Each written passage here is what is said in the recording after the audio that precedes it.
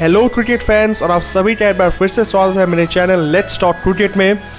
तो world test championship की वजह से टेस्ट क्रिकेट जो है वो और भी ज़्यादा कम्पिटिटिव और इंटरेस्टिंग हो रहा है। तो आज के इस वीडियो में हम बात करेंगे test at its best test cricket के बारे में, जिसमें बात करेंगे हम एशेस टेस्ट सीरीज़ के बारे में और India versus West Indies test series के बारे में। तो चलिए वीडियो स्टार्ट करते हैं। सबसे पहले बात करते हैं India versus West Indies test series के बारे में। तो उस टेस्ट सीरीज़ में जैसा कि हमने देखा था कि सबसे पहले फ़र्स्ट इनिंग्स में इंडिया ने तीन विकेट जल्दी गवा दिए थे, उसके बाद अजंक्य रहाने ने बहुत अच्छा पारी खेला, रविंद्र जडेजा ने भी एक बहुत अच्छा पारी खेला और उसकी वजह से इंडिया ने 297 रन्स बनाए और उसके बाद जो है वेस्ट इंडीज़ 222 रन्स पर ऑल आउट हो गया अपने पहले इनिंग्स में। और फिर जो है इंडिया का जब बल्लेबाजी आया, तब एक बार फिर से के राहुल को अच्छा स्टार्ट मिला, लेकिन वो स्टार्ट कन्वर्ट नहीं कर पाए। के राहुल को लगातार अच्छे स्टार्ट्स मिल रहे हैं, लेकिन वो उसे कन्वर्ट नहीं कर पा रहे हैं, जो कि चिंता का बात इंडिया के लिए। लेकिन पॉजिटिव्स की बात करें तो सबसे बड़ा पॉजिटिव रहा अजिंक्य रहाने का सेंचुरी क्योंकि बहुत ही अच्छे खिलाड़ी हैं, हम सभी जानते हैं। फॉरेन जब कंट्रीज़ में उनका जो रिकॉर्ड है वो बहुत ही बेहतरीन रहा है, और फिर से उन्होंने एक और सेंचुरी बनाया इंडिया के बाहर खेलते हुए टेस्ट मैचेस में। वहीं हनुमा विहारी, जिनको एक मौका मिला था रोहित शर्मा से पहले रविचंद्रन अश्विन के जगह भी आप कह सकते हैं हनुमा विहारी को खिलाया गया था। उन्होंने भी एक बहुत अच्छा पारी खेला 93 रन्स था। उन्होंने अपने आप को प्रूव किया कि क्यों उनको टीम में जगह मिला, अपने कैप्टन के भरोसे पर खड़े उतरे वो। और हम सभी ज़रूर चाहते थे कि वो भी सेंचुरी बनाए, लेकिन अनफॉर्चुनेटली बना नहीं पाए।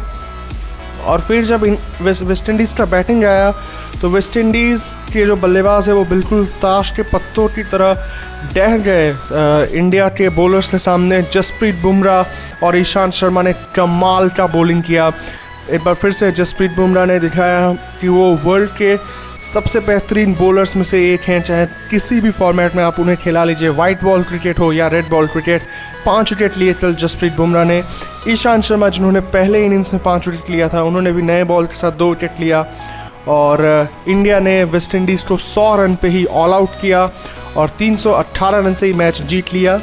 एंड वे मैच काफ़ी एक तरफा हो गया जिसका उम्मीद इतना ज़्यादा एक तरफा मैच का उम्मीद नहीं था, क्योंकि वेस्ट इंडीज़ अपने घर पे खेल रहा था अच्छा खासा टीम लग रहा था वेस्ट इंडीज़ का, लेकिन बहुत ज़्यादा ही एक तरफा हो गया ये मैच तो अब नेक्स्ट मैच जिसका हम बात करने वाले हैं इस वीडियो में, वो है द एशेस टेस्ट सीरीज़ का third test match England versus Australia के बीच, और क्या कमाल का टेस्ट मैच रहा, वो हिस्टोरिक टेस्ट मैच एक ऐसा टेस्ट मैच जिसमें एक मिराकल होते हुए देखा हम लोग ने, क्योंकि कोई भी विश्वास नहीं कर सकता था जब इंग्लैंड 67 रन पे ऑल आउट हो गया उसके बाद कोई भी नहीं सोच सकता था कि इंग्लैंड जो है चौथे इनिंग्स में रिकॉर्ड तीन सौ बासठ रन चेस कर देगा, एक हिस्टोरिक चेस किया इंग्लैंड ने, और उसमें जो सबसे बड़ा कंट्रीब्यूशन रहा वो था one of the best allrounders in world cricket या फिर आप कह सकते हैं the best allrounder in world cricket Benjamin Andrew Stokes बहुत ही कमाल की बल्लेबाजी की बेन स्टोक्स ने 135 नॉट आउट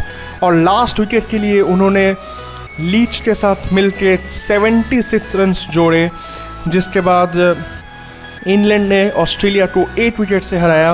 उसके अलावा जो इंग्लैंड के कैप्टन हैं, जो रूट उन्होंने भी एक बहुत अच्छा हाफ़ सेंचुरी बनाया। जो डेनली ने भी एक बहुत अच्छा हाफ़ सेंचुरी बनाया।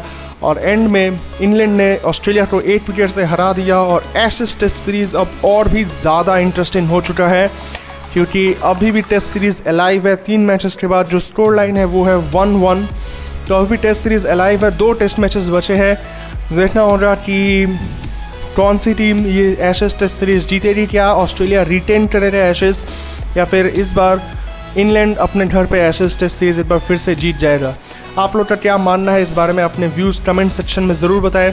और आप लोग के हिसाब से अभी करेंटली दुनिया का बेस्ट ऑलराउंडर कौन है? ये भी मुझे कमेंट सेक्शन में ज़रूर बताएँ। और वीडियो देखने के लिए बहुत बहुत शुक्रिया। अगर वीडियो पसंद आया हो तो लाइक ज़रूर कर दीजिएगा और चैनल को भी सब्सक्राइब कर दीजिए ऐसे ही और भी इंटरेस्टिंग और इन्फॉर्मेटिव वीडियोज़ के लिए।